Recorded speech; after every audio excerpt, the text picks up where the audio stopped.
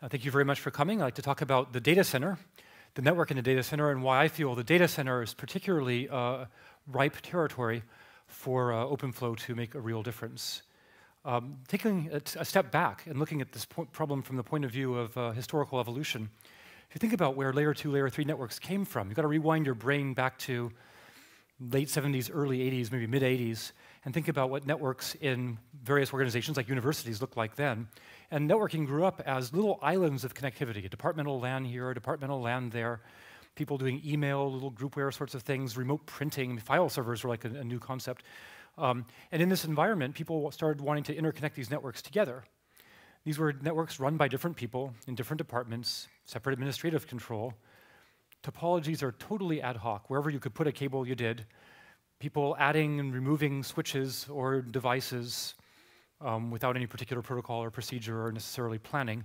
Um, very low performance and uptime requirements. You know, if you couldn't print, you'd complain to your administrator, and eventually the network would come back up, and you could print your document. You know, this sort of the uh, the, the, viewpoint. And uh, uh, in that kind of environment, things like RIP and Spanning Tree were just fine. They enabled this sort of very ad hoc, loosely controlled, decentralized uh, um, model to do quite well.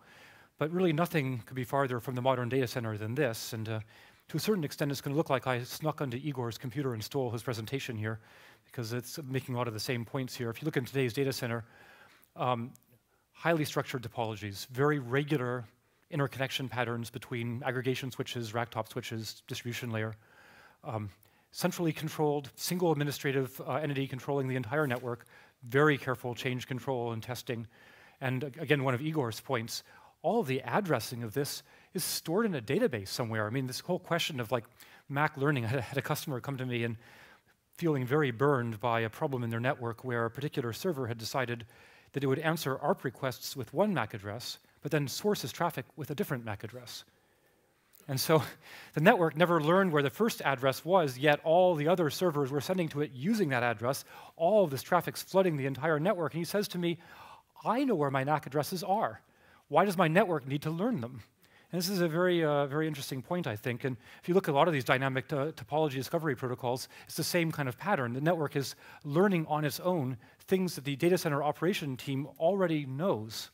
And this is in an environment with very demanding performance and uptime requirements, and the sorts of instabilities we've seen from the traditional layer 2-3 control plane. Seems like we should be able to do better. And this is the context in which, uh, here's an example of the uh, topology that some of uh, Arista's customers are building, where you have a certain number, typically 4 to 16 spine switches. These are very high capacity, uh, 10 gigabit Ethernet switches, uh, usually operating at layer 3, um, interconnected in a fully connected bipartite graph down to a top of rack switching layer, maybe has a couple hundred switches in it, um, where each top of rack switch is responsible for a particular, well, rack, obviously, and uh, uh, each rack is sort of its own little IP subnet using ECMP multipath routing to get a, to, to spread load across the spine. And this topology can sustain enormous amounts of east-west bandwidth and also be very resilient to link failure. So it's a very good topology. It's just that it's extremely regular and kind of repetitive. And it would be nice if the network knew this was the topology and could save you from the chore of trying to configure it because in a network with 400 switches, probably 2,000 IP subnets, depending how you do it, most of which are really tiny, 1,600 transit links. I mean, this architecture is just made to order for some kind of central control, automated provisioning, automated administration. And this, this scenario is doable with uh, today's switches. Um, but what if you need a layer two design?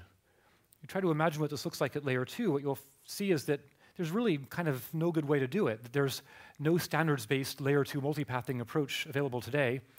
Trill is coming uh, at some point.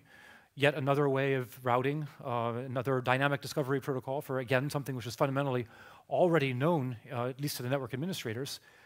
Um, it's very doubtful to me whether you really want to be flooding every MAC address to every switch in the unknown DA case or to support broadcast-based protocols. Plus, you're still faced with the basic problem of dynamic topology discovery mechanisms that whenever there is an event, this is another one of Igor's points, I feel like I'm just repeating his points here, that whenever there's a topology event, reconvergence is required, and switches can spend an enormous amount of CPU reconverging, and if they defer that work too long, as Igor was saying, that's going to be quite an interesting uh, uh, disaster for the network operators. And none of this seems like it ought to be necessary.